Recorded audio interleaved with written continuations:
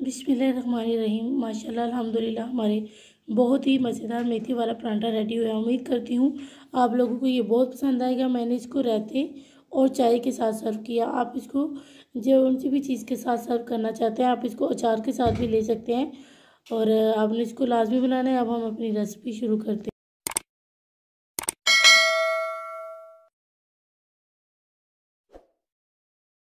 बिसमीम अल्लाम my YouTube family. उम्मीद करती हूँ, अल्लाह के फजल और शुक्र से आप ठीक होंगे। मैं आज बहुत ही मज़ेदार और बहुत ही आसान तरीके से आपको मेथी वाला परांठा, यानी रोटी जो भी आप लोग बोलते हैं, वो बनाना सिखा रही हूँ। तो आप लोगों को ये बहुत ही आसान तरीके से समझाऊँगी, जिसके लिए सबसे पहले हमने तीन अदद हरी मिर्च ली थी और उसको चॉप कर लिया है। और ये मिक्स मसाला इसमें जो है ना धनिया है, खुश्क धनिया, वो है, ज़ीरा है और मेथी है। यानी कि वो कसूरी मेथी है और लाल मिर्च या हल्दी है। ये one and half teaspoon लिया है। ये मेथी मैंने दो दो कप ली है। वो मैंने हाफ़ कप ली है और ये धनिया मैंने हाफ़ कप लिया है। तो ये जो है नमक नमक मैंने टू यानी कि वन टेबल स्पून लिया है। आटा मैंने आधा किलो लिया है। ये चक्की वाला आटा है, यानी कि फ्लोर है। तो ये मैंने आधा किलो लिया। अब हम इसको नॉर्मल गूँधेंगे सबसे पहले हम इसमें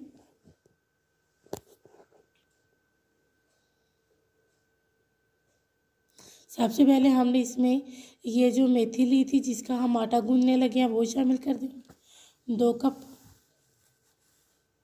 ये धनिया है, हाफ़ कप। ये बहुत ही मज़े के बनती है। आपने इसको लाजमी बनाना है। और ये जो फ्रेश जो है ना हरी मिर्च है, वो है। ये ऑप्शनल है, अगर आप डालना चाहते हैं तो डाल लें वो हरी, लाल, हरी मिर्च। और ये लाजमी जाएगा मसाला। जो कि लाल मिर्च वाला मैंने बताया मिक्स, और ये नमक वन टेबल स्पून अब इसको नॉर्मल पानी से हम गूंद लेंगे। अब सबसे पहले हम इसमें ये सारे जो मसाले शामिल किए हैं, वो उसको मिक्स कर लेंगे, और फिर उसके बाद हम इसको गूंद लेंगे। अभी हमने सिर्फ़ इसको मिक्स ही करना है। अभी थोड़ा थोड़ा पानी शामिल करते जाएँगे और इसको गूंदते जाएँगे। और इसको इतना हार्ड नहीं रखना, इसको हम नॉर्मल ही जैसे राम आम रोटी को आप गूंदते हैं सेम वैसे ही जो है ना। अगर आप लोग इसमें नमक स्पाइसेस कम शामिल करना चाहते हैं तो वो अपने टेस्ट के हिसाब से आप कर सकते हैं। और ये इतनी मज़े की बनती है कि इसके साथ किसी चीज़ की ज़रूरत तो नहीं होती, लेकिन अगर आप लोग फिर भी चाहें तो आप इसके साथ जो है ना चाय बना सकते हैं, रायता बना सकते हैं, वो आपकी अपनी चॉइस है। तो बस अब हम इसको इसी तरह से गूंदते जाएँगे। तो आप इस टाइम पर स्पाइसी जो है ना, कामियाँ ज़्यादा कर सकते हैं। तो हम इसी तरह से आप इसको गूंद लेंगे। ये देखिए, हमने आटा गूंद के रख लिया। अब हम तकरीबन इसको जो है ना, दस से पंद्रह मिनट के लिए रेस्ट पे रखेंगे और फिर उसके बाद हम इसकी रोटियाँ या पराठे जो भी आप बनाना पसंद करें, वो हम बनाएँगे। तो अभी हम इसको रेस्ट पे रखेंगे। और ये अब हम छोटे छोटे इसके पेड़े बना लेंगे इसी तरह से। हम पराठे बनाने लगे हैं, जिसके लिए हम जो है ना, इसके छोटे छोटे से पेड़े बनाने लगे हैं। तो इस तरह से हम पेड़े बना लेंगे, आप पराठे भी बना सकते हैं और खुश्क रोटी भी, लेकिन हम इसके पराठे बनाने लगे हैं। इसी तरह से हम सबको रेडी कर लेंगे। अब इसके ऊपर थोड़ा सा घी लगाएँगे। घी लगाने के बाद फिर इसके ऊपर दूसरा जो पेड़ा हमने बना के रखा हुआ है, उसके ऊपर ये उसके ऊपर रख देंगे।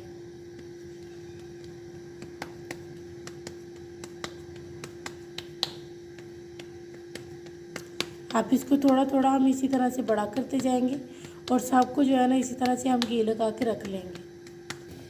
अब इसको हमने दोनों साइडों पर पुश्ती लगा ली है, जो कि हुश्का होता है, हुश्का आटा, वो हमने लगा लिया अब इसको जो है ना हम तो बेलते जाएँगे बेलन से और इधर हमने अपना तवा भी गर्म कर लिया है और उसके ऊपर थोड़ा सा ऑयल लगाया था, जिसकी वजह से ये धुआँ नहीं कर रहे तो इसी तरह से अब हम जो है ना अपनी रोटी को बेल लेंगे और बेलने के बाद हम इसको तवे के ऊपर डाल देंगे। ये देखिए, हमने रोटी को बेल अब इसको हम तवे के ऊपर डालने लगे हैं।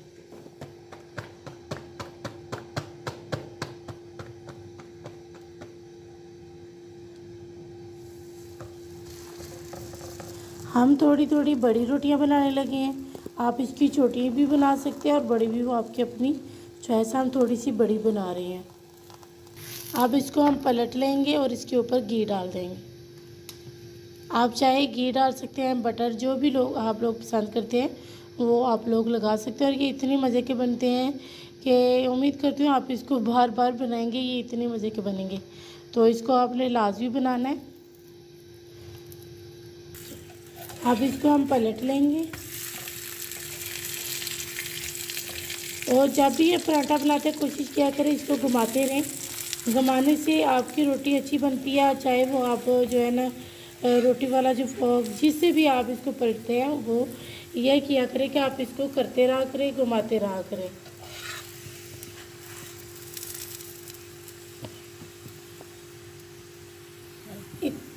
और इसकी इतनी अच्छी, माशाल्लाह, अल्हम्दुलिल्लाह, खुशबू अभी से आना शुरू हो गई अभी बनी भी नहीं है। और देखिए, इसका कलर भी कितना अच्छा अल्हम्दुलिल्लाह, आ रहा है। तो आपने इसको लाजमी बनाना है। प्लीज़ इसको एक बार ट्राई करिएगा और इसका कमेंट्स भी प्लीज़ कमेंट में बताइएगा। ये देखें, अब आप इस हम, हमारी ये रोटी रेडी हो गई है। यानी कि परांठा तो हम अब इसको निकालने लगे हैं।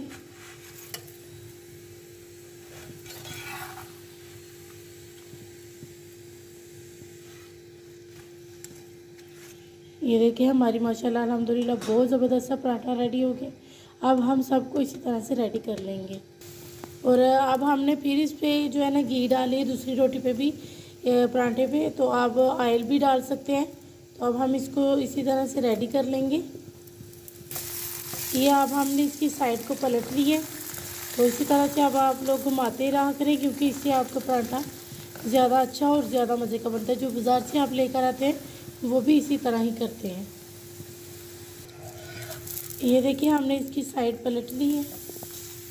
तो इसी तरह से अब हम अपना पराठा रेडी कर लेंगे। तो आपने जो भी है ना, जितने भी बनाने हो, इसी तरह से आपने सबको रेडी कर लेना है। और ये देखिए, हमारा पराठा रेडी हो गया है। बस हम इसको जो है ना, निकालने लगे तो जो है ना इन फिर हम आपसे मिलेंगे इन नेक्स्ट वीडियो में।